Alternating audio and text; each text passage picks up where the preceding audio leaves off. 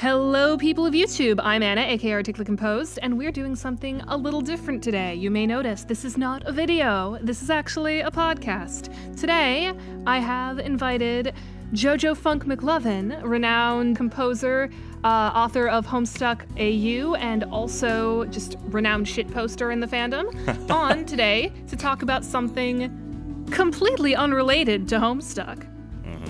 We're going to talk about the flaws of the music education system. Some of them.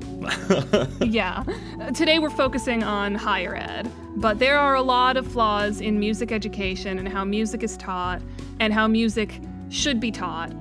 And if some of you know, I made a whole video essay a couple years ago about the flaws of the American education system in general. Mm-hmm. And I know somebody commented asking to like talk about music education specifically, and I know I noted in that comment, I can't cover all of that in one video because that's so close to me personally that there's just so many flaws. So yeah, this is going to be a three episode mini series, just sort of talking about the flaws of the music education system and what can be done to fix it. So, uh, Jojo, why don't you introduce yourself? Yes. Uh, I didn't know JoJo Funk McLovin was going to be on here. I can't do this anymore. I didn't know you invited that wacko. So, a long time ago, before I got into Homestuck shit, I did music. That was my thing. That was like my whole identity. And I got into music first in like basically video game OSTs, uh, doing covers of those. But now my trajectory has changed to where I don't, I barely do music anymore and I do more writing stuff. But for music, I still do the music for HSAU. I did some music for FriendSim 2. Uh, Midnight City was another game that I was working on that uh, unfortunately got canceled, but that would have been a good one. Uh, you remember Midnight City, right? Of course I do. I That's a wrote all game. the I wrote all the incidental Yes. bleepy things. That was fun. Yeah, that's my music career. Is I kind of got pushed out of it just by necessity of, you know, it, it. Not many people look at like original music online, and the people who do are, are like the outliers, and that's fine. I don't have a problem with that. Uh, I wish it wasn't that way. Uh, sometimes because I would like to post my stuff online and have it get more recognition, but you know how that is. Of course. It is exceedingly difficult to get people to click on music specifically. Yeah. Uh, especially when there's like, you know, people like uh, Home and uh, who's that other motherfucker who does like royalty free stuff? Kevin McLeod, Yeah.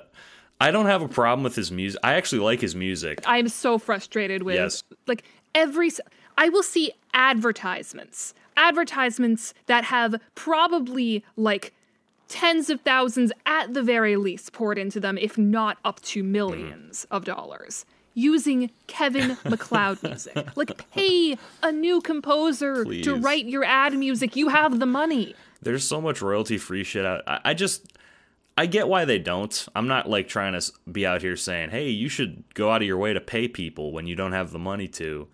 But uh, it is frustrating when you are essentially replaced by one royalty free musician. And like, I'm not even talking small independent YouTubers. I will never fault a small independent YouTuber for not commissioning someone to write their music. But once you get to the point where you can like pay an editor on YouTube or like pay a graphic designer, like if you have the money where you can pay extra people, why not toss a couple hundred dollars towards someone to write an original theme song for you? You'd stand out more. Yeah, bespoke audio and bespoke uh, soundtracks do a lot for storytelling, in my opinion. But um, we're not we're not here to bash Kevin McLeod or MacLeod or however the hell you say it.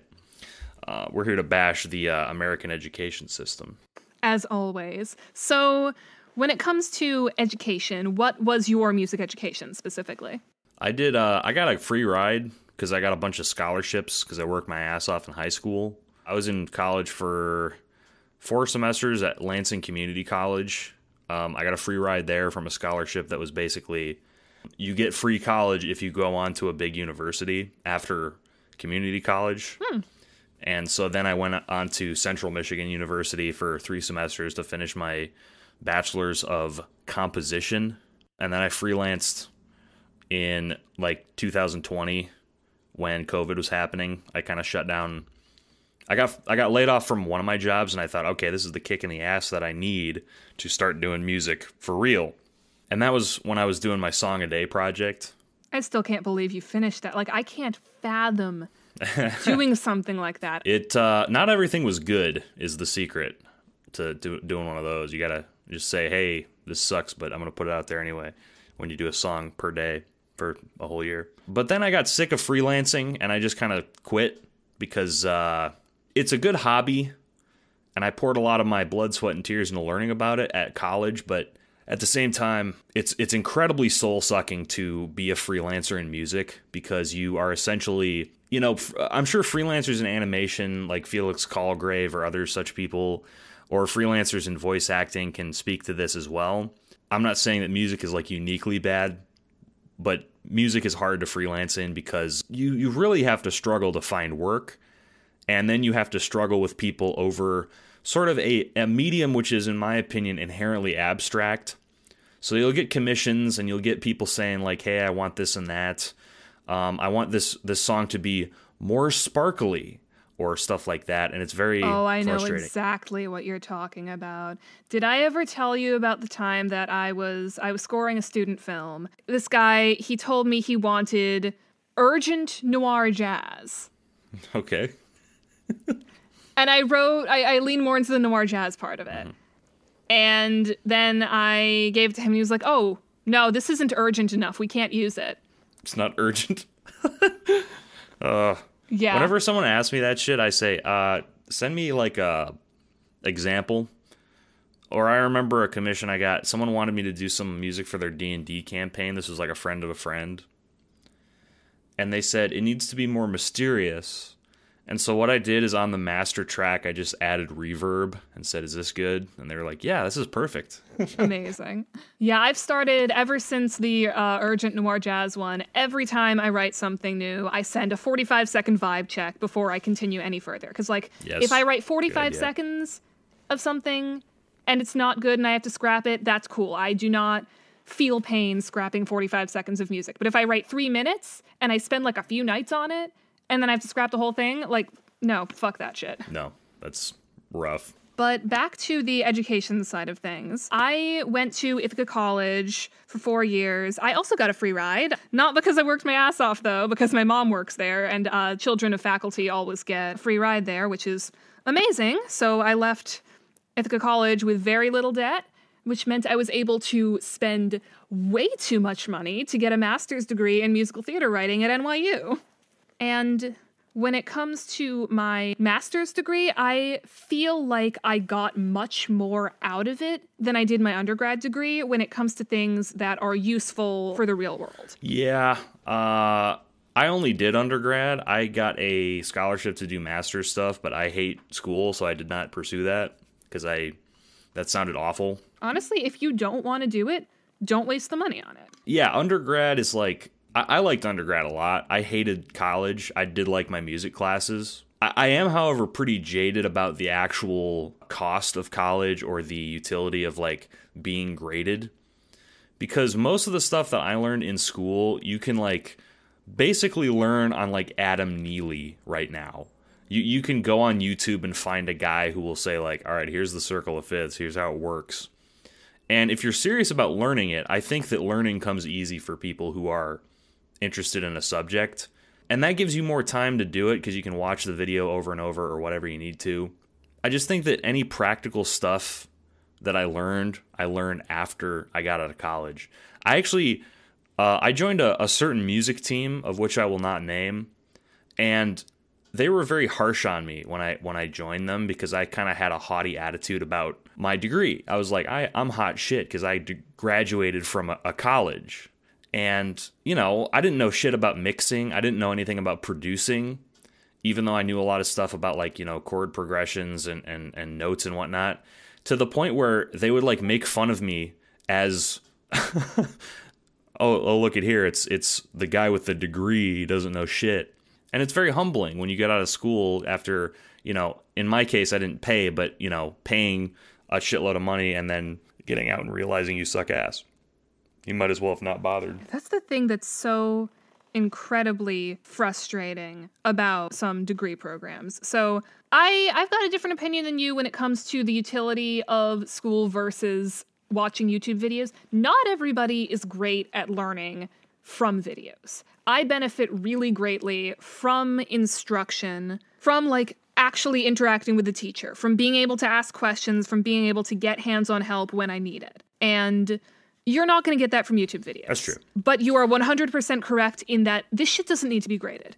You do not No. need to grade music. You do not like my my composition lessons like they were quote unquote graded in that like, you know, you you get the A if you show up to your lessons and show that you put effort into it. But like why do you need the gradation of A through F at that point? It's like mm-hmm. if you are studying a creative pursuit, why bother grading it? Why not just make it, oh, they showed up, they did the work, they put in effort, and they appear to be improving. Good job. You passed the class. My my grad program was completely pass or fail. And I am so grateful it was because like there were some songs that I'm not happy with. There were plenty of songs that I speed wrote in two nights and they turned out dreadful. They turned out embarrassing. I had to show them in front of everybody. But I didn't get a grade on them. I didn't have to add insult to injury. Like, I just made a bad song, and that bad song goes in the bad song hole, and no one will ever hear it again. But you have to write those bad songs to be better at writing songs. Exactly. Yes. The uh, I might have told you this story. There's a teacher that I had. Shout out to Cesar Potes if you're still working at LCC or you just by fucking chance happen to listen to this. I was in his. Uh, it was either songwriting or music theory, where we had to make an original composition, and I had clearly like rushed it like overnight because I was partying with friends or whatever. And he's this little short man. He's like you know, five foot nothing. And I don't remember if he's from what like South American country he's from, but he's got this heavy accent and like a lot of broken English. And he just looks at me with my paper in his hands and he just goes, uh, no, this is not good. and I remember thinking like, fuck, I'm going to get in trouble. But he gave me an extra day to work on it, which is nice. And that was one of the turning points where I realized like, oh yeah, this shit doesn't need to be graded like you're in a math test. Like this sucks. Just give people time to do stuff. Just instead of grading, I think the key here is instead of grading, you need feedback from either peers or mentors. And uh, for the most part, I actually feel as though I got a, better job of that at LCC, which is a community college where a lot of people played locally. They, they were able to give much more f- feedback than the people at the bigger college, Central Michigan, that I went to because Central Michigan was more focused on education than actual composition degrees, which is what I got. And so a lot of the education was geared towards uh, training teachers, which I don't have a problem with, but that was not my course. So I got a lot more out of the people who could give me functional feedback. Yeah, I feel that a lot. In my undergrad, like after freshman year, like freshman year, there was like a big group class, and then after that, you have individual lessons, and your fellow students never give critique to your in progress pieces. That was just not a thing that ever happened at my undergrad. And then in grad school, it's like, no, your your classmates, your peers, your cohort that you're going to go off into the world and write musicals with are going to be the ones that give you the feedback. And I definitely got much more out of that. Speaking about things that are missing from a lot of conservatory educations, let's move on to the next topic, which is what was missing? What do we think we're missing from our degrees? And clearly, both of us feel like uh, peer feedback was one of those things. And I want to circle back to the mixing part that you were talking about earlier when you were talking about how you were in that group and didn't know how to mix yet. Oh, yeah. So in my school, there was a like an audio engineering degree. Uh, the studio recording technology major was what it was called. And if you weren't an SRT major, you couldn't really take those classes. Like the mixing classes were gate kept. And I took a film scoring class and like a digital music production class, but the professor specifically told us he didn't know how to mix. So I did not get any education on how to mix in undergrad, which is really, really harmful because if you're a composer, specifically if you're a composer that will end up working with MIDI, because who can afford hiring instrumentalists? Yeah. At least when you're like submitting pieces. Shout out to Kontakt. Shout out to BBC Orchestra. Gotta love sample libraries. Like, if you don't learn how to use those properly, they're gonna sound bad. And, like, everyone in the composition department should have been taught how to mix. And the fact that I didn't learn really until last year is horrifying. Yes, in this world, absolutely. I think the mixing thing that you're talking about is probably to give you some idea. I used to watch the featurettes on Buffy the Vampire Slayer DVDs, which is a show that came out in like I think 1999, 1998, that kind of area, like turn of the millennium. And they were already talking about how they were using digital music.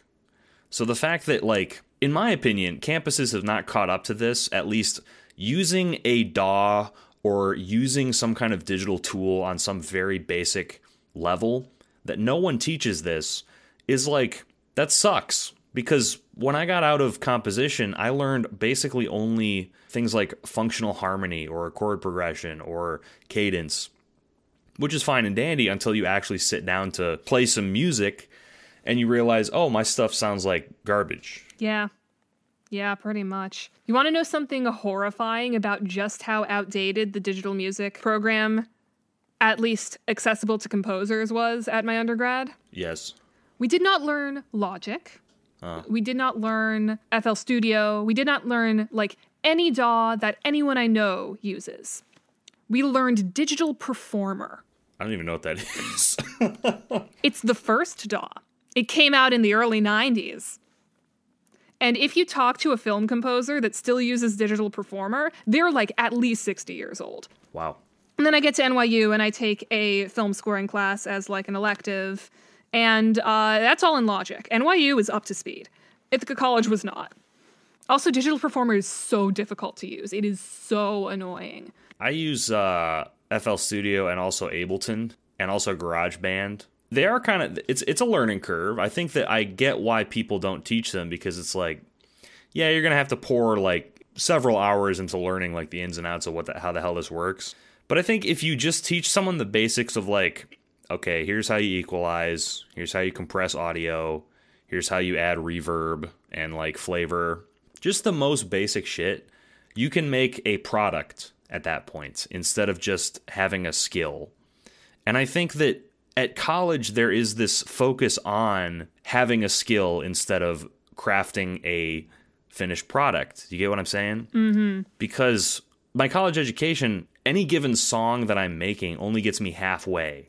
It only gets me to the performance, it only gets me to, you know, the notes on the page, which sounds fine and dandy. And that's definitely a difficult step that I'm glad that I learned how to do. But the rest of it, which is tinkering around with, you know, settings in FL Studio, basically mixing down your track, that's like half the work that you are no longer, you, you never learned. It's incredibly frustrating how much was left out. In my notes for this podcast, I wrote down a couple of other things I feel like we're really missing. One of them being I never learned in my undergrad, I never learned how to write for guitar or drum kit, which so I am currently in the process of trying to learn how to play guitar. I am actually by the time this podcast comes out, uh, I will have played guitar for the first time in front of other people on stream on Sunday. Hey, you come a long way. I think the last time you needed guitar, you just said, hey, can you do this to me? Yeah. well, I still wouldn't be able to play. I probably wouldn't be able to play the one that I asked you to play yet. I only know a handful of chords, but like, That's something. you know, I'm getting there. This is the first new instrument I've picked up since I was nine and played sax for the first time. I was never taught how to write for guitar until I got to grad school, where it's like, oh, well, guitar is really common in musical theater pits, so we're going to teach you how to write for it. But in classical compositions, like, no, no, guitar is for the plebes. You're only going to learn orchestral instruments. And same with drum kit. Like drums are so important. And like orchestral percussion is often pretty minimal. So they didn't even bother to teach us much when it comes to percussion in general. Like that was that was a point I always felt was really lacking. And I asked for it multiple times. Like, hey, could we do like the entire composition studio gets together and the someone from the percussion department comes in and teaches us how to play all the instruments and what sounds you can make out of them because there's so many percussion sounds and I always felt like no one was teaching me all the sounds I could make. They taught me all the sounds you could make out of a violin, but like drum kit? No. No, nothing. So that's as as loath I am to say, I depend on Logic Drummer for most of my songs, at least for the demos. I think that whether it be mixing, drumming, or guitaring, I think that there's just like these weird gaps. Like it's not a very holistic approach that you get in college. You, you don't get like I was saying before, you don't get that idea of like the product. You you only you know sort of compose for what you know or that that limit doesn't get pushed. I think for my money, if we're talking about what's missing from education, I think that the number one thing that I wrote, I even wrote this down in my notes here realistic expectations. You either learn, and this might be something that you, that I have a difference with you about because you are a formal composer. But in school, I feel like you either learn either to be a formal performer or composer, an educator or an academic. And all three of those things were like not what I wanted to do. And that's fine if that's your goal, but it wasn't mine. And if you're looking to work in like video games, film, or composition, and you don't go like directly to where the, the the money is or like the networking opportunities, like you went to NYU, I'm sure that there were a lot of networking opportunities, but I went to like Michigan. There's not really much going on there. And I think that, you know, there's an unreal expectation that you're, you're given when you sign up for a program and you say, I want to learn how to make music. And then you get spit out like, all right, all right, kid, you've you've gone to school for four years. Now you know the range of a, a the comfortable playing range of a trumpet player. So like, thing is, at NYU, so like, yeah, I did make some connections, but also at NYU, that's where we were told you're gonna have to have a survival job. But also keep in mind, I didn't get a music degree at NYU. I got a theater degree at NYU, and theater is so much more realistic about this stuff than classical music is. You, you did your undergrad for comp- composition, you said? Yeah, undergrad was composition yeah. and uh, grad was musical theater writing. And mm-hmm. it was much more heavy on the theater than the music because it was like part of, it was part of Tisch, which was the school that had the drama department. It wasn't part of the music school at NYU. So, like, they did tell us, like, you're going to have to find a survival job. And they also, you know, told us about music jobs that may not be our true call like true artistic calling but are also something that can make you money they told us about copy editing and helped us figure out some stuff with finale to make it so like hey you can be paid to do copy editing for other people's scores. I'm real bad at score copy. I need to get better at it just for my own sake because I can't afford to pay someone. That is the opposite of my experience. I'm kind of envious. I, I will tell you this anecdote because I think this this speaks to my experience, and I think you'll think it's funny. I I had a I won't name him because um this is not flattering to him, but I had a trombone uh, instructor when I still was a trombone instead of piano. I asked him, "Hey, how do I like start gigging? How do I start you know playing trombone at a, a venue? How do I like get into a band?" And he literally just told me, oh, you know, just just bring like your trombone case and like you know go on stage and ask them if you can play with them. Just like you know, have a real book with you. And that was the most idiotic thing I've ever heard in my life. That's like the music equivalent of when your dad is like, just print out yes. your resume and give it to companies. Ask them to pl- like.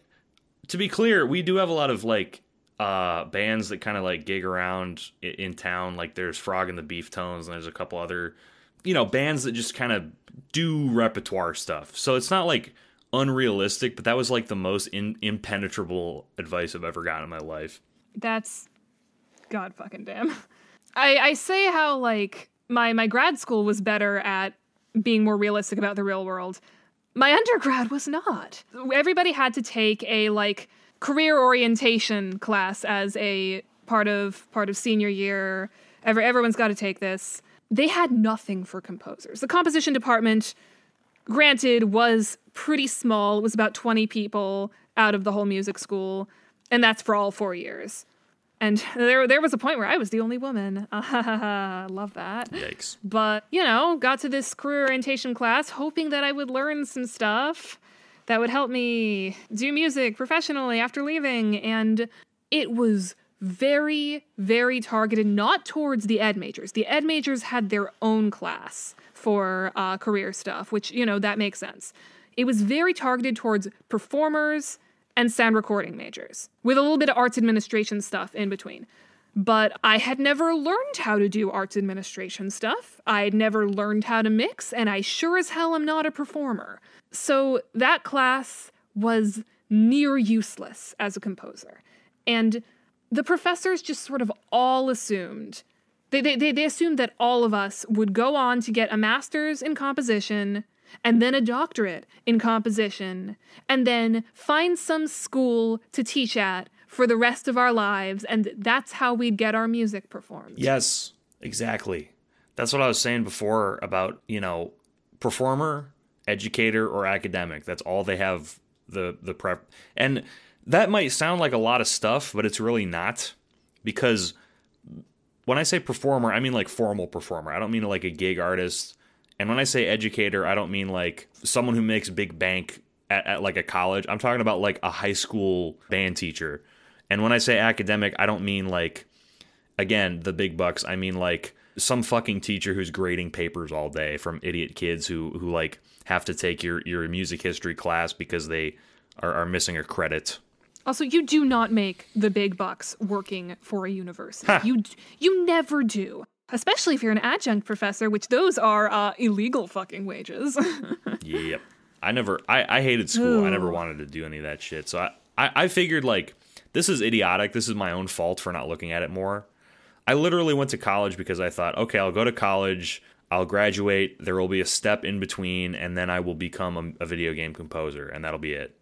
And then profit they don't help you connect with the people no. making video games. Like, I am currently making enough money to supplement my income to make it so I can, you know, make rent on months where my two jobs that do pay me like wages are tight with game composition because my girlfriend owns Studio June and I'm the person she goes to first because she knows how fast I write. Like, once Friendsim 2's over, when we're between Friendsim 2 and the next Studio June game, I don't know where I'm going to find composition freelance work. Because every freelance job I've ever had has fallen in my lap. A couple months ago, I had a mixing gig, because I guess I know how to mix now. I had a mixing gig for a theater company that I I'm interning with. And this mix job was not part of my internship, but uh, the guy uh, in one of the production meetings was like talking about how desperate he was to find a fast mixer, and I was like, uh, I can do that, and he paid me 400 bucks. That just it just fell in my lap, and I don't know how to find other freelance work. Yeah, I'll tell you how. It's uh, you have a big lap. You just expand the size of your lap, and you wait for things to fall into it. That's it. In a serious note, if you do want to freelance, it's basically doing bitch work forever. Like you will never graduate past that level because uh, you know you the, the kind of work that you can get it nowadays is dog shit. It's like on uh, I did work on uh, Fiverr. I did work on Video Pixie. I did work on Taxi, which is a I didn't even know what to call Taxi. It's ma- mainly mainly a scam. You pay hundred dollars to uh, allegedly get like in contact with people who are gonna you know compose for you, but like you never get any work, or uh, you're gonna compose for, but you never get any work. They pay the pay is like insane. I got paid my first ever job was when I was still at LCC, and this guy in Texas, he wanted a jingle for his car dealership ad, and this was a job that took me a grand total of an hour because he already had the lyrics and the singer had already sung it, and all I had to do was make the music for it. Very simple. It wasn't good. I really wish that I still had that. I don't know where the hell that was. That was like it would be like six years ago now. But that was like that was two thousand dollars for an hour of work. Oh shit! And I thought, oh my god, this is great. And I never made more than like two hundred dollars ever since. So like, it, it's it just sucks. You have to basically half of your job as a no, more than half of your job, three quarters of your job as a freelancer is looking for work. That is your job as a freelancer because when you finally find it, the people who want your music like have no taste. They just want some corporate fucking product. Whatever you shit out for them will be fine. And that might sound easy and fun, but if you want a challenge or are you creatively inclined, it's it's a nightmare. You you want to kill yourself because it's like I have to work hard to find jobs that I don't want to do, and uh, that's no good. Mm-hmm. That's why I quit freelancing because it was just a nightmare. I just started being a hobbyist again. God, yeah, that's that's fucking bleak. I wish I knew how to find those two thousand dollar for an hour of work kind of jobs. This was like a guy. I only talked to him over email, but even over email, I could like picture him in my brain as like a Doug Dimmadome type who doesn't know what a fuck a, a gallon of milk costs. Oh. so he, he was just like, oh, $2,000 for your. How much could it? It's a banana. Yeah, How much could it exactly. cost? $15? That, that was him. He, he's like straight out of Breaking Bad. Like he's the banker out of Better Call Saul wearing like a bolo tie and a cowboy hat. I think we got into what you wanted to talk about, which is what what is available but inaccessible. Yeah, the the, the mixing classes. There, you you technically could have. Uh, I knew some people who did a uh, SRT minor, and I probably would have been able to do that if I took that as a minor. But I wanted to study abroad. I wanted to go to Vienna. I wanted to go to Europe. I'm never going to go to Europe again because I'm never going to have the money. I am glad I took that opportunity, but also I wish those classes weren't gate kept for the people who made the smart decision to do the minor, you know? I think that dovetails into one of the questions you put on the discussion sheet. What wasn't necessary that you learned? Yeah. Um, like, so my course load, I don't know how packed your course load was because, especially, you did it like all split up, mm-hmm. but between the classes required for the major, the classes required for the music school, and the classes required for the school, I had 125 credits. That was over how many years? How many course? How many semesters? Four. But like yeah. a standard degree is 120 credits. For me, it was uh, like I said. I think every music class that I took, whether it was like, you know, music theory, songwriting, composition, whatever it was, even like aural harmony or uh, not aural harmony, but um, the singing class you have to take, aural skills, like those were fun for me. What wasn't fun though is the fact that because I went to a community college and because I had to work towards a, a associate's degree, I had to be sitting there and like going to math class, like I'm in fucking high school. I had to be sitting there and like, you know, taking personal finance and shit like that. And it's a nightmare. It's it's like I'm going to school for music, but most of my course load is uh, bullshit. Honestly, I found the classes outside the music school like a welcome break because, you know, eight to 10 classes per semester. If all but one of them is in the music school, you just you get a little overwhelmed. I found it, it was a nice break to like have an English class. I, I, I was glad to like have the opportunity to read some books, but like I don't think I needed to take logic. Not logic the daw, logic the the fucking logic the bullshit. Yeah, I, I didn't need that class. I'm never going to think about that again. Everybody had to take like a freshman seminar, and I got stuck because some shit happened, and I got stuck with a chemistry seminar where the chemistry was like everything I learned not in AP chemistry, but the stuff before AP chemistry. Like I did not need that class. That's what I got. I got stuck in uh, this here. This, this is not about music. This is just about college. How bullshit is this? Listen to this. I took AP calculus, right, in high school. So I had an AP calculus credit that I did not need to take in, in math anymore. However, at LCC, they do placement testing and I only placed into algebra 2 or no, I pla- I placed into pre-calc, which was like before the class that I'd taken. So what happened to me was I took pre-calc, which I had to. I skipped calculus because I had AP calc that I had already passed an AP class for. And then I went straight into like calc 2. I went from calc 1 in high school to pre-calc in college and then calculus 2. And this isn't even for my fucking major, right? this is for fun.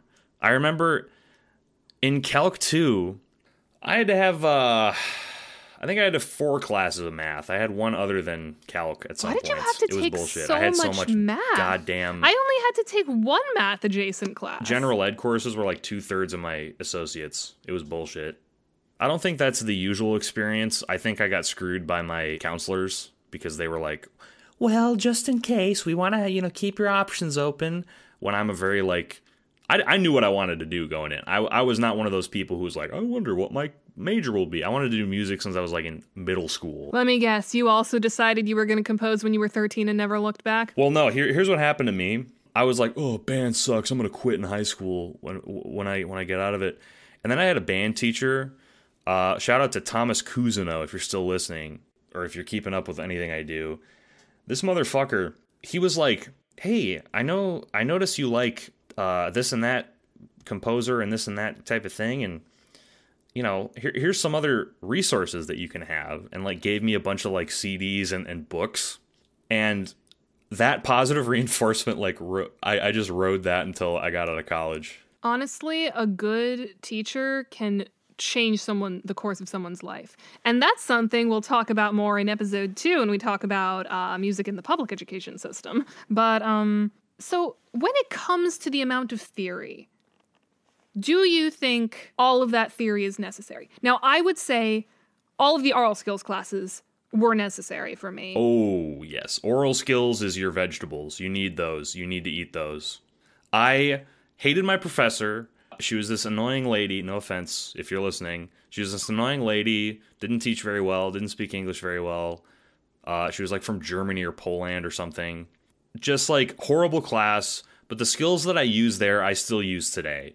So you need to do those. You need aural skills no matter how much you hate them, no matter how bad your teacher is, no matter how annoying it is. You need aural skills. You need them. If you're listening to this in music school, if you hate it now, please just power through. It's very useful. My aural skills professor was he was like I had the hardest one. I intentionally chose him. He was actually the father of a girl I knew growing up, growing up, which is the fun of uh, going to school in the town you grew up in. But um, I wanted him every semester because he was the one that would challenge you. And I mean, shit, I can. S- haven't done it in a little while, but I mean, if I brushed up on it, I could definitely sight read 12 tone shit. Like, this is important. You need the aural skills. It is vital. Uh, and it, I, I think sight singing too, more than anything, you kind of unlock like, oh, that's why music is like shaped like it is, right? Because when you're a, especially on piano, you're like, why the fuck isn't this just like 12 tone everything? I don't get it. It's annoying. But then you read sight singing, you're like, oh, okay, I get it. Now I can like read in any key that I want just by like the the the way that they're shaped. Does that make? s- I'm, I'm explaining it badly. I take it you weren't a choir kid? Uh, I did choir, but the choir that I took was bullshit. Because if you if you grow up singing, that part's kind of innate. I feel like I had an advantage in sight singing classes because I came both from the world of band and from the world of choir. I had both the abstract press a button, it makes this sound kind of thing going on, but also the more structured music has a shape. But when it comes to theory itself, do you think everybody needs, like, no matter what your major, do you think everybody needs to learn 20th century, like, tone rows? No. I, I think this is not controversial. I think a lot of people have touched on this. But here's my problem I like music theory. I really like that's what got me into formal education instead of just going out and, like, you know, gigging or, or being a performer.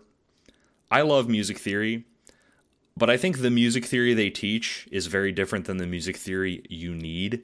Because, for instance, here, here's an anecdote that I like. I had a music theory 2 class where we had to basically find the the the fit the parallel fifths in a song as like an error, right? We were basically, you know, searching for typos in a in a piece. Like where's the parallel fifths in this, you know, four-part harmony? Or where is the non-chord tone in this counterpoint piece or something? Or where is the non-diatonic note in this part or some bullshit like that? And that was a nightmare. It was kind of annoying. It wasn't fun, but I thought it would make me better.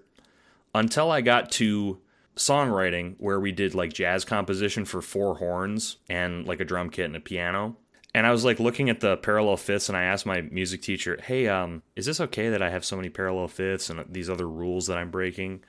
And he just goes, "Is this very?" I, I wish I remembered his name because he was one of the best teachers I ever had. He he just goes, "No, you're good. You don't need that." And I felt like both. Oh, thank fucking Christ! This is not what you know music is going to be about. Like finding typos it's going to be about like actual creativity and, and stuff like that but pro tip to anyone in college for music right now the second you leave you will never have to worry about a parallel fifth again in your life. they're actually pretty fun. Parallel fifths are everywhere yeah i mean that is like the parallel fifth is actually like one of the backbones of uh horn writing for jazz basically. I mean it's the power chord. It's all over rock. It's not evil like whoever thought that everybody needs to honestly i've like i had to the, the hardest class i took in undergrad was a uh, 18th century counterpoint class. And i've never revisited it since then. I suppose it would end up being useful if i ever had to write like a pastiche of like some specific like Bach specific writing. That's never come up in my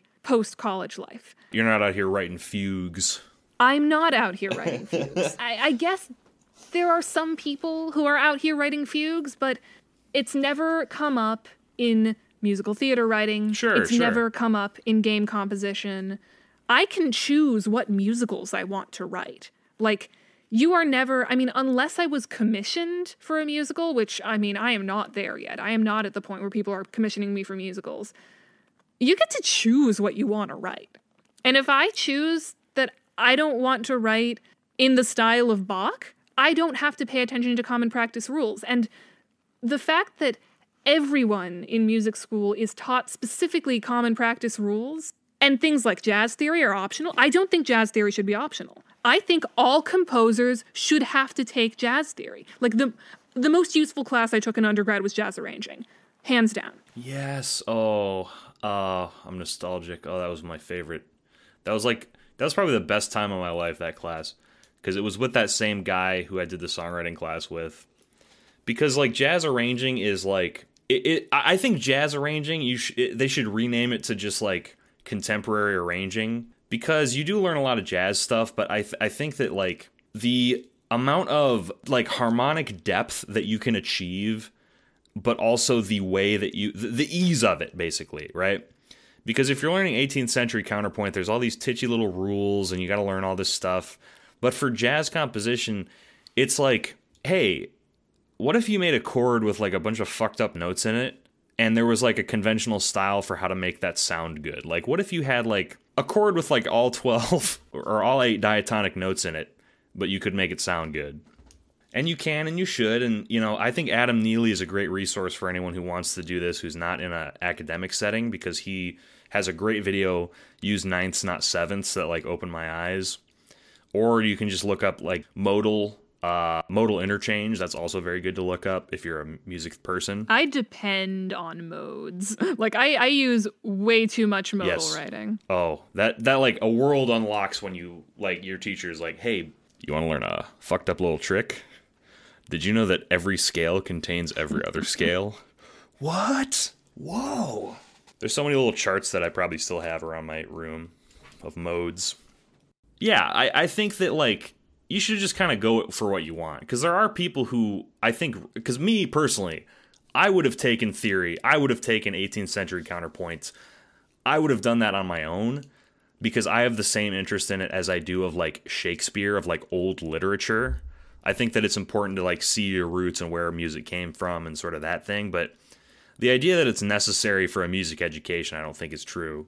Like when it comes to required classes, I'd say 18th century counterpoint should be the optional one. Like you can take that as an elective, but then jazz theory or jazz arranging, that should be the required one. I quite agree. I think that uh, a lot of the because a lot of my experience was in my associate's degree, first two years, they were like, "All right, here's the rules," and my second two years were basically my professors being like, "There are actually no rules. Not you need to learn the rules to break them." But these rules never existed in the first place. They were like imposed by a, a, a, monk now, when it came to my composition lessons, there really wasn't much of a focus on the theory because, you know, it was it was it was commonly known that you don't have to obey common practice rules when you are doing contemporary classical composition. My problem with contemporary classical composition, the way it was taught at my school, was the professors had their styles. They really liked those styles, and they really wanted students to work in those styles. My professors did not know what to do when it came to musical theater. I I will never forget this. This was um, when I was about to graduate. Uh, it was the end of semester composition department dinner, and the uh, professors were asking all the seniors, "What are your plans after this?" One of the guys was he he was planning on going off to get a master's in composition, and you know his final trajectory is probably going to be teaching at a university in the way that the professors wanted. They got to me, and I was like, well, I'm going to apply to schools either for a master's in film scoring or a master's in musical theater writing. And when I said musical theater writing, the professor's face. he was so. I could smell the disappointment on him, especially because right before.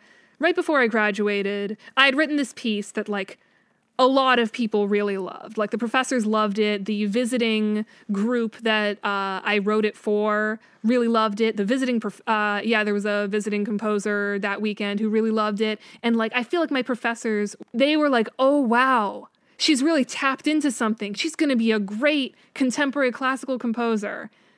And then I turn around, I'm like, no, I want to write musicals. And the other professor I had, he was actually my studio professor at that time, he was less like judgmental about it.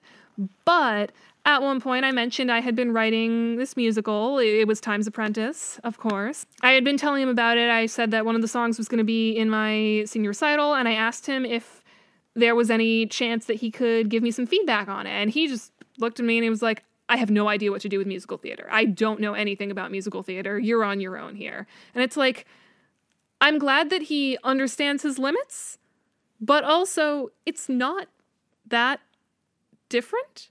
It's not a whole different world. It just has more to do with storytelling. Did you have to take any writing for musical theater for musical theater? Or? Uh, yeah, yeah. In grad school, I took playwriting, and uh, it's kind of funny. I never considered myself a writer my whole family is writers. My dad's a poet, my mom's an essayist. My sister is in school for writing. She's actually in my mom's department, which is I don't know if it's a bizarre experience for her or not, but um I mean she's taken all these classes with people that we grew up knowing because they were my mom's friends. It's kind of funny. But um my whole family's writers and it's like, "Oh, I'm the odd one out. I'm the composer." But um a couple months ago, I had a play that I wrote performed at a festival.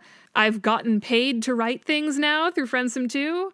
I I have now been introducing myself as a composer and playwright. Like is this is a bizarre experience for me because having to do with my identity. It's like now I can identify as a writer. Like that that's strange. I don't know. You're um Fuck. I was gonna make a joke that you are you're you're Gilbert and Sullivan. There you go. There's the joke.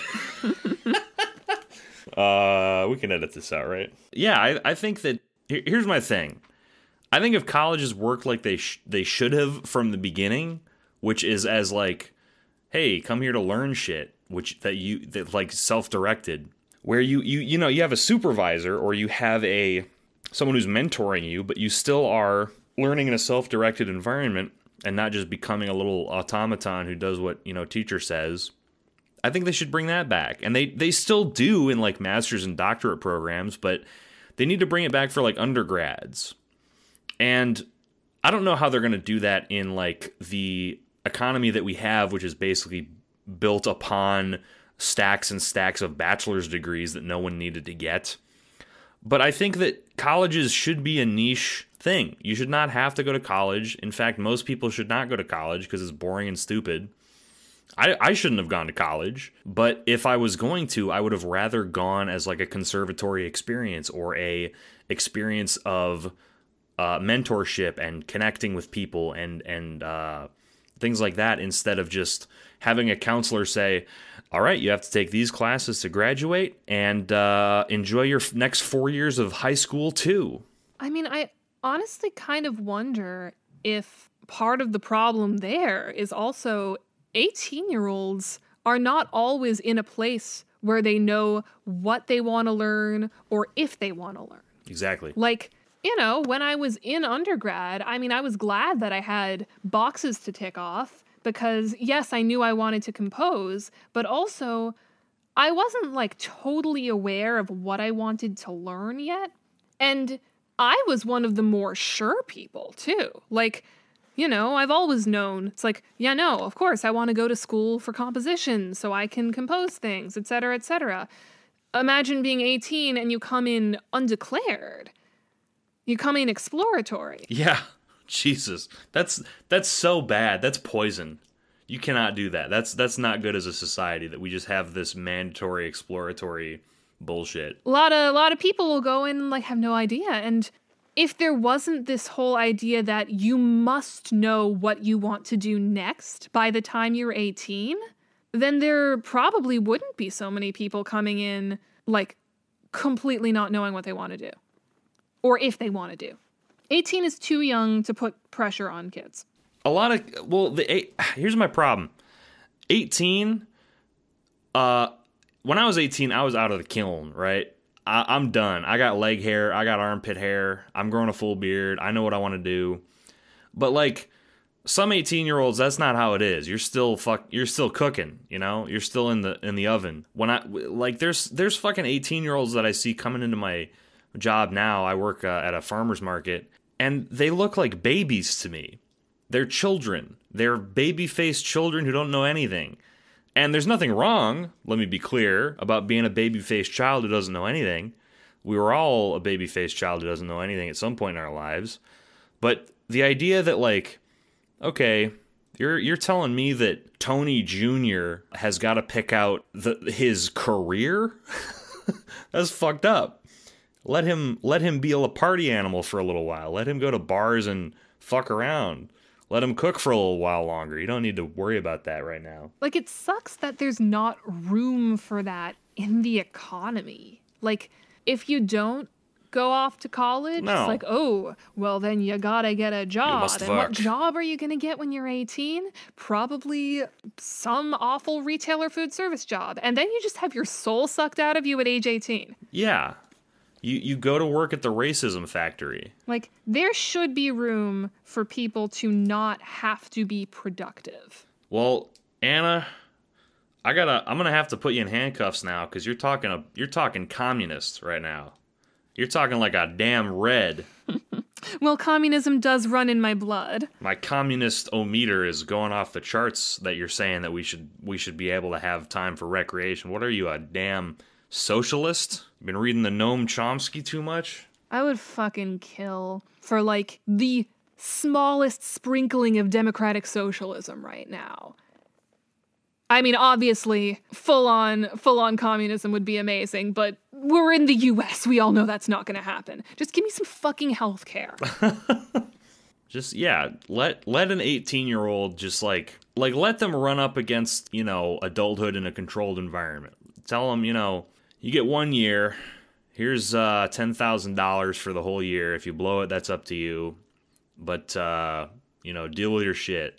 And like that's the great thing about college is college is that transitional period. Yes, but then you got to pay it back. I know. Like I am very grateful I had 4 years to learn how to be an adult to like okay, this is what it's like having roommates. This is what it's like taking care of yourself when you don't have to feed yourself and then a couple years later okay now you have to take care of yourself while feeding yourself but you still don't have to pay any bills. Like it's it's that slow build up and then by the time I got out of college it's like okay okay you know I'm staying at home for a year so I can save up to move to New York City but I'm going to move to New York City now because I know I want to live in a city and I know I want to write musicals and I know what I want to do with my life for the foreseeable future. Like, I didn't know that when I was 18. I didn't know that I wanted to live in a city specifically. And I didn't know, well, one, I didn't know that musicals were what I wanted to compose, but also, like, I didn't know how to take care of myself. I still barely know how to take care of myself, but, like, you know, I can feed myself. I can do laundry. I can manage care tasks while also managing having a job. And that's what those four years are there to teach you. And you can't just let kids loose. Okay, go work your ass off, but also never have taken care of yourself before. But also, it's cruel to be like, okay, you get this transitional period, but also you're going to be in debt for the rest of your life. The the well, okay. If you want to get into like some deep politics here, the American government under Bush implemented what's known as No Child Left Behind. We all know the story. I'll skip over it. But after No Child Left Behind in the Obama years, I do believe, I might be incorrect. I'm a musician, not a fucking political boy. What happened was they said, okay, we're going to give schools incentives as part of this new No Child Left Behind bullshit to send kids to college. And so we're going to give schools more money if they send more kids to college. And that's why people in our generation, the sort of, you know, you and I are both like sort of fringe millennial Gen Zers. We're cuspers. Yes. We're in that 95 to 2000 range. Exactly. We're, we're the, uh, the true millennials, if you will, where, where we actually grew up around the turn of the millennia. And we had this issue where, okay, they went all in on the college thing. You probably remember like college days at your school or saying that everyone should go to college or you need to go to college mm-hmm. or having what was that career quest? They would say like here's the college you need to get this job that you like. I don't know. I, I think it's like kids get pushed into college and like I was saying before, a lot of people they are okay. Like you said, I, I think that you're entirely correct when you say like not everyone is suited for this, but I think a lot of people are just suited to you know do their own exploring online or uh, on their own time you know, I got a lot out of just reading books about music. Ted Gioia is a great place to start if you want to learn about like jazz stuff, music history. That's another thing. Jazz history. I didn't take the jazz history class because I wasn't I didn't do a jazz major. But uh that sort of goes into the whole music history is so fucking white and male. So fucking white and male. There was a day where I had a really good music history professor who wanted to take to make an effort to go outside of the set curriculum to tell us about composers who weren't white and male. And there was a day where we talked about composers of color, and there was a day where we talked about women composers. And that was it. I like tried to make an effort to make all of my uh, music history projects be like female composers because you never hear about female composers except for like the three who are currently up and coming, I guess but like it's so white, so male. And if jazz history was required, then at least more black composers would be known. Yeah. I mean, black composers is like the entirety of jazz composition. I, I have a theory. This is a conspiracy theory on my part.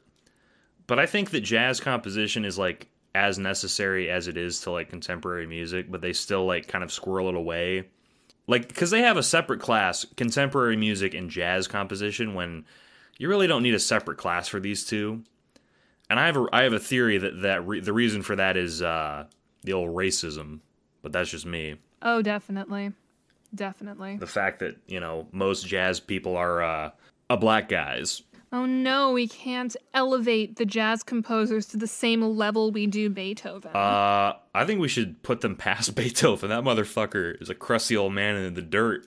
If he heard the kind of chords they were making work, you know, if he heard Miles Davis, he'd crap his he'd crap his little fucking pantaloons. You know that uh, TikTok trend that's like uh, American things that would make uh, that would put a British person into a coma. Uh, this should this should be like a someone should make one where it's like jazz things that would put an 18th century composer into a coma.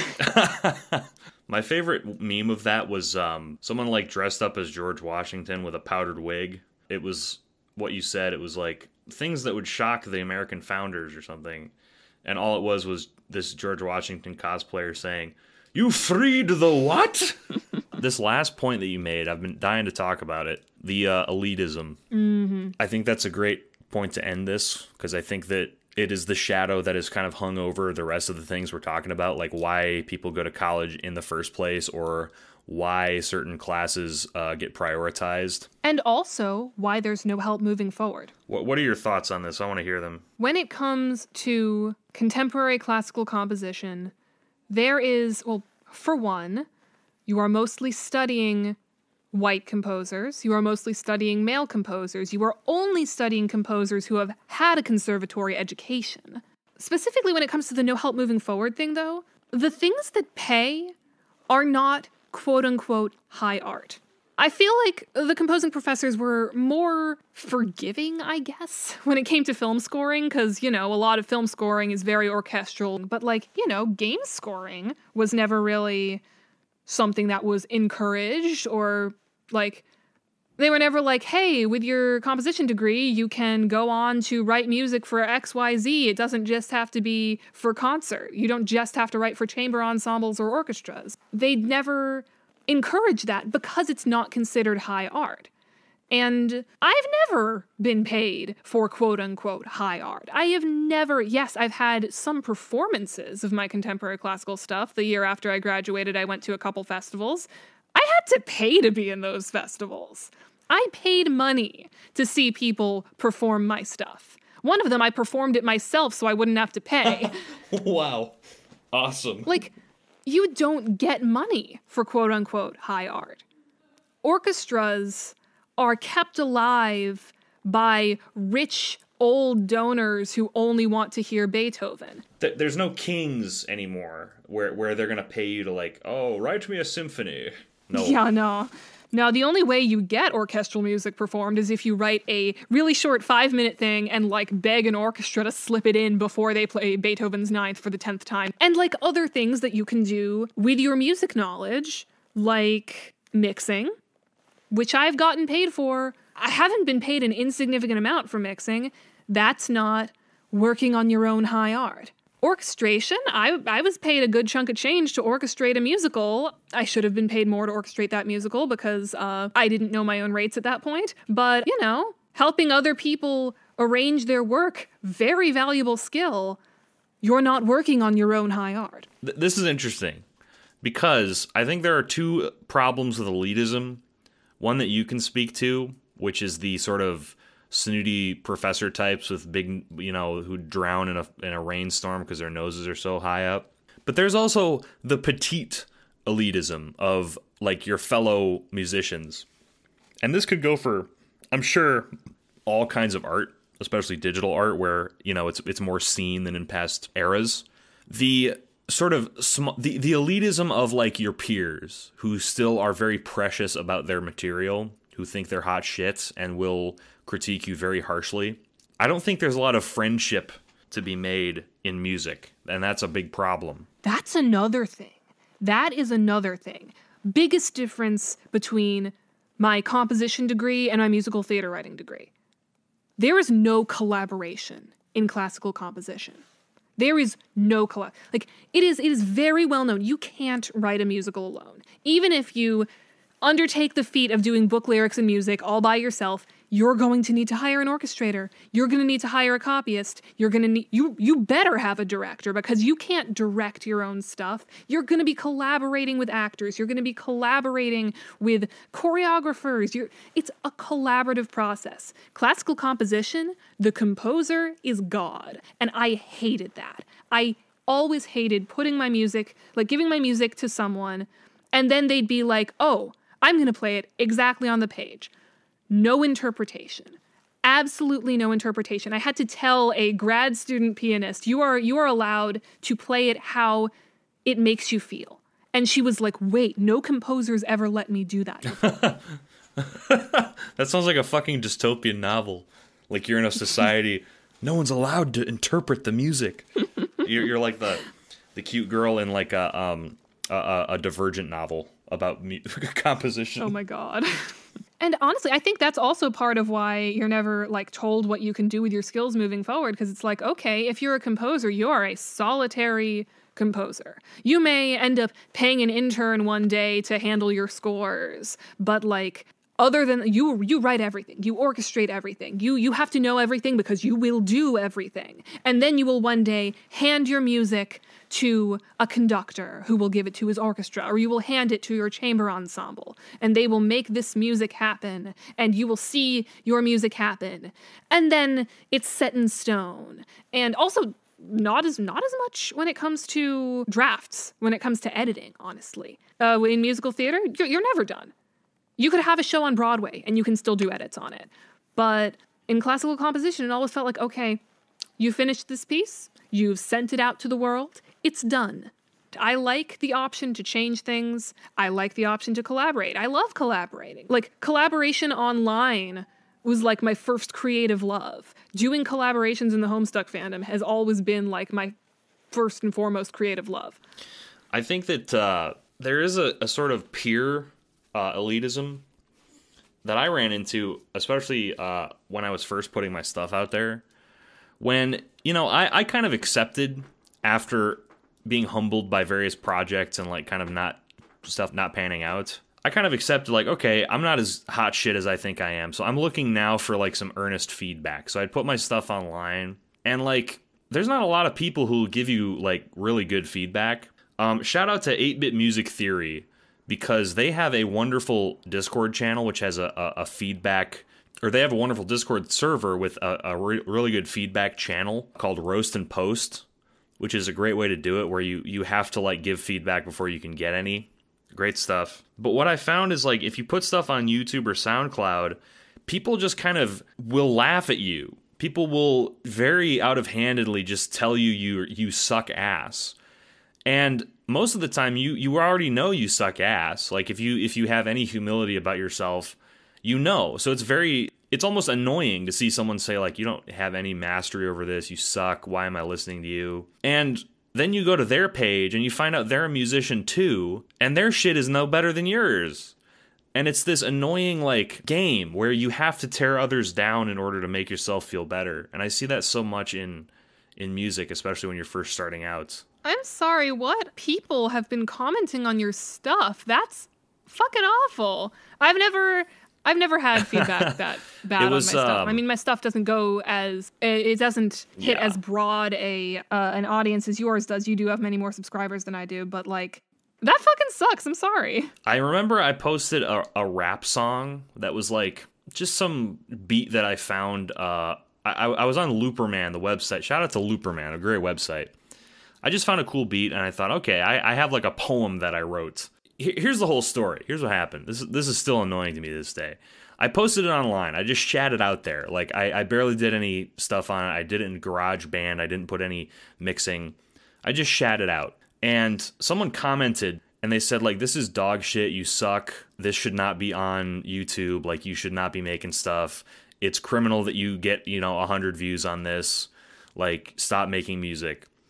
And I remember in there they had said like some functional like tips like you know this sounds bad for this reason. And i went to a group of musicians that i really like kind of vibed with. It was the same group of musicians that i was talking about at the beginning of the show. And i said hey guys this comment made me feel bad. I think it was like out of pocket. I didn't like it. It made me uncomfortable. And you know it made me discouraged. And instead of saying wow i'm sorry that happened to you jojo they go well, you should be trying. You, you, know, you, you should be trying to look for, you know, the positives. That that guys gave you free feedback, and they were telling me all this stuff, and I just it felt even worse.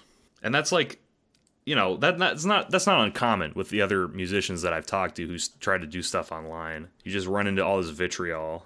People need to learn that it's so mean to give unsolicited feedback. Yes. like if if you if you go into a server that you know is full of musicians and you're like, "Hey, I wrote this, but I know it feels a little off. What would you do to make this sound better?" And then the people listen to it and they're like, "Oh, you could add some reverb here. Oh, you could uh your, your bass is a little muddy. You should spread out that bass part a little bit." If you're looking for specific feedback, that's super helpful. And if you're going into a class that's specifically about getting feedback, like you're going to go in prepared. But if you post something that you're really happy with and people just post, like, this is shit, like, what are you doing? Yeah. And, like, to be clear, I was shit at the time. Like, I'm not saying that I wasn't, but that's not a good approach. Like, you're, you're not going to be good, like, probably ever. Like, if you're, if you're an artist, you're probably never going to be good. Ever. And that's fine you should not expect to be good. You should just expect to make stuff that you know you like. You're not going to have virtuosity. You're not going to be the next Yo-Yo Ma. You're not going to be the next John Williams. All you can do is try to trick people into thinking that you are better than you are by like showing competence. And that's fine. And that should be fostered. and that should that that's kind of to me a um a, a boon because it means you can always be improving. You can always be one percent better than you were yesterday. It means that you can look at your stuff from two years ago and instead of thinking, "Ugh, geez, I sucked. Ugh, I don't want to look at that," you think, "Wow, I'm much more skilled than my past self. That that makes me feel good." Do you ever like go back and I do this all the time where I'll go on like a, a voice nostalgia trip and I'll go into the Lotus archives and listen to like some of my first like Broadway Briska songs and I sound like a mm. child. It's insane. And then I'll listen to like the most recent thing I sang. It's like, okay, okay, I'm glad that I have improved significantly in eight years of regularly recording myself. When I first turned 18, I started doing voice stuff on like uh, not safe for work homestuck things on Tumblr. Whenever I look at that, I I, I don't want to look at my old stuff. I do look back on my old stuff and I think like, oh, cool, I, I'm I'm much better now. A lot of times I find like actual a lot of like competence where I didn't think I would. Like I was saying, like if you accept that you will never be good or ex- exceptional, it takes a lot of pressure off too, because then you can just kind of put whatever you want out there and you have more chances at you know hitting it big or something. You you can't be precious about your art, especially music, because no one is going to be precious about it except for you. Like, you know, Childish Gambino or or Rihanna, they are putting stuff out there and it's getting replaced in like a week. The best artists that you've ever heard in your life are are are like expendable. If they didn't exist tomorrow, someone would fill that void. If you don't exist tomorrow, someone's going to fill that void. So the best thing you can do is just like have fun with it. Don't be so fucking precious about it. You're not going to be the next Beethoven. It's not it does it's it's fine. Honestly, like having a goal to be the next great insert thing here is going to destroy you. Yeah. What are you going to do when you get there? My goal when it comes to making music and making art is I want to have an effect on someone in the same way that people who I admired when I was a teenager had a, an effect on me.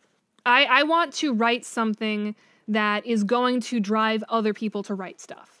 I want I want to create a musical that, you know, had the same eye-opening effect about leitmotif that the score to Undertale did. Like when I was 18, two things like clicked into place when it came to my like desire to write things with leitmotif and that was the undertale score and hamilton and while we all have our opinions about Hamilton now, oh, and uh, maybe Lin Manuel Miranda shouldn't have written uh, fan fiction about the founding fathers because they were all slaveholders, um, I can't deny no. that that show Lin, did have an effect on how I think about leitmotif. So like, I want to write something that does that kind of eye opening effect to someone else. I want to make someone gay with my art. I want to make them gay. I want to I want to make someone look at my art and think I was not gay before. I was straight as a board. I was straight as an arrow. Now I'm gay. Not bisexual, not like bi curious. I want to make them gay. I want to make them renounce the opposite sex and I will. And you should.